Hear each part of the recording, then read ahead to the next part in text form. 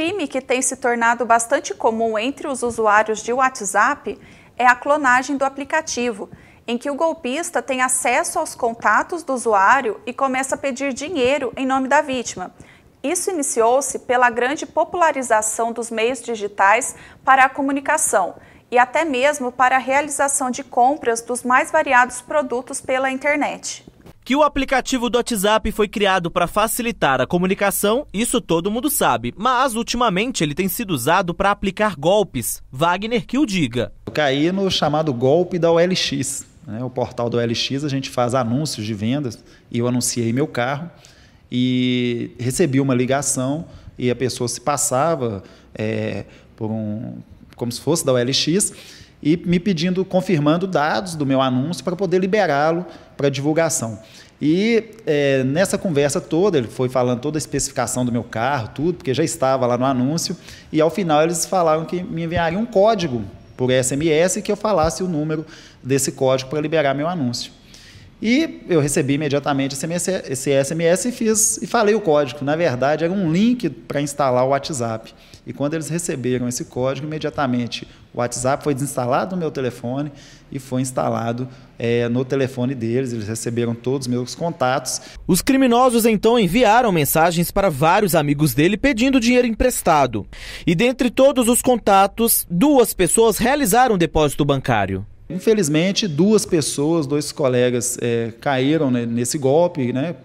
Uma um valor de mil reais, uma outra com valor de aproximadamente três mil reais. É, não conseguiram reaver esse dinheiro até hoje, estão processando os bancos também. Eu passei cópia da, da ocorrência para elas, né? foram duas, duas mulheres, falando desse, que, que era golpe, que não era eu, mas a grande maioria, graças a Deus, não caiu. A pena prevista para estelionato virtual é de 1 a 5 anos de prisão.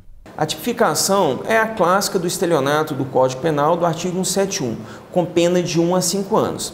Só que há uma modalidade nova, vamos dizer que é um estelionato virtual é, ao longo do tempo, a sociedade migra, a sociedade muda, vai se alternando. O crime vem junto dessas mudanças e vai migrando também. O delegado dá algumas dicas de segurança para evitar esse tipo de golpe. No próprio aplicativo você pode acessar e fazer essa dupla, essa dupla segurança, já ajuda bastante. Segundo ponto, ficar atento a esse tipo de ligações pedindo informações. O terceiro ponto, quando você receber uma mensagem de alguém solicitando algo muito emergencial, valores de forma muito emergencial, desconfie. Tente, tente contato de outra forma, é, tente é, ganhar um prazo. A vítima, avise em outras redes sociais. Nós temos várias outras formas de comunicação. Avise, olha, o meu celular está com problema, eu estou sem comunicação no WhatsApp. Essas mensagens não são minhas. Além disso, é importante que a vítima registre um boletim de ocorrência e vá até uma delegacia para que se iniciem as investigações. Foi o que o Wagner fez. Fiz contato com o próprio WhatsApp também imediatamente para poder bloquear o número. Infelizmente, eles não fazem isso imediatamente, isso é feito só 12 horas depois. Né? E já na sequência fui é, para a delegacia com todas as informações que eu tinha, as pessoas também me ligaram, passando o número de conta bancária, tudo que eles estavam fazendo, e isso tudo constou no boletim de ocorrência é, para fins de investigação que compete aí à polícia. Nós temos trabalhado de forma inteligente, né, rastreando é, os números, os IPs dos autores é, e tentando é, englobar as várias ações né, tentando achar um encaixe entre, entre as mesmas ações, a coincidência de ações para os autores. Há, há, existem grupos determinados que atuam de formas determinadas. Né? É, e nós estamos, nesse sentido, fechando para que chegue em, em grupos determinados, não de forma pulverizada, para tentar, às vezes, com uma ou duas ações, é, fechar o máximo de crime possível.